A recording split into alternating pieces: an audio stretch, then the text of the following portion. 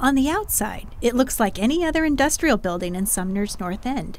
But inside, the careful art of coffee brewing is in full aromatic swing. Green Mountain Coffee Roasters makes the single K cups for the popular Keurig coffee makers. Lots of K cups, in fact. And I can just say that we do millions a week. millions. millions. Plant Operations Manager John Rader leads hundreds of employees who roast, package, and ship coffee, and not just in K cups. We also make five pound bags for the cafes. We uh, have a supply agreement with the Tully's Cafes to supply their coffee, and then it's other large uh, customers that would require what we call bulk coffee or the five pound bag. They also supply restaurants and grocery stores, and not just with Green Mountain and Tully's coffee, but other brands like Newman's and, believe it or not, Starbucks sends us coffee that we grind and we put in the, the K cup portion pack. You heard right. Even competitor Starbucks uses this plant to put their coffee in K cups. Of course, without telling Green Mountain what's in their secret blend. You might wonder why Green Mountain moved to Sumner in the first place. Many people think that the coffee odor is nice, but we didn't want to offend anybody with any off odors.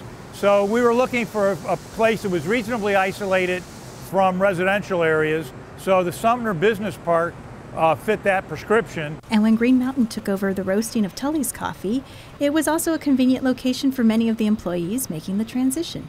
Sumner was about the furthest south that we figured we could get people to come to and maintain the commitment of offering people employment. Behind me, they're packaging coffee that will go across the West, in some cases even across the nation. But this facility here in Sumner means 300 jobs and a whole lot more. We allow people during their normal work hours to go out in the community and perform community service.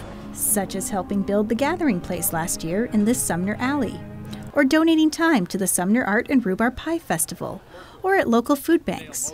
It's people, planet, and profits. so we call brewing a better world one cup at a time. Green Mountain invests a lot in employee development too.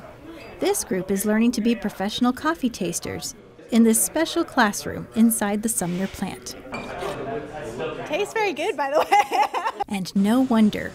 The beans here are carefully ground in these mammoth machines after being roasted by master roasters with years of experience. Listening for the beans to pop in old fashioned artisan roasters like this, or high tech, high capacity machinery that uses the same recipe.